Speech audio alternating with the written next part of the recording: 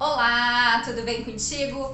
Hoje eu quero conversar sobre negação. Muitas vezes a gente não quer olhar para o problema, a gente não quer pensar, a gente não quer nem ouvir falar naquilo. Só que ignorar não é resolver. Colocar embaixo do tapete não significa que está resolvido, apenas significa que você adiou o problema. Então a negação não é algo que vai te trazer leveza, não é algo que vai curar algum problema, algum conflito. Muito pelo contrário, só vai adiar o problema. Então sempre é essencial a aceitação. A partir do momento que você aceita, você começa o teu processo processo de libertação, porque quando não há aceitação, há julgamento, e quando há julgamento, você está preso naquela situação, naquele fato, naquela pessoa.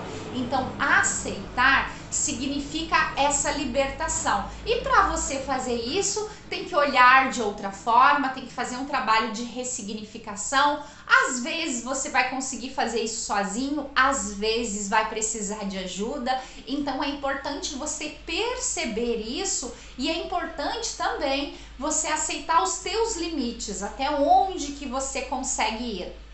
Uma coisa muito importante da gente entender é que nós estamos aqui nessa vida, nesse momento, justamente para evoluir. E se nós estamos para evoluir, significa que somos aprendizes. Significa que ainda não sabemos de tudo. Então é necessário essa humildade e também aceitar o fato que não somos perfeitos. Nós não vamos conseguir resolver tudo, nós não vamos conseguir mudar tudo no instalar de dedos, não. É gradativo, é constante e todo esse processo precisa de muita amorosidade para que realmente seja profundo, para que realmente fique de forma permanente. Essa foi a dica da Ana de hoje. Tudo de bom para você. A gente se vê por aí ou no próximo vídeo.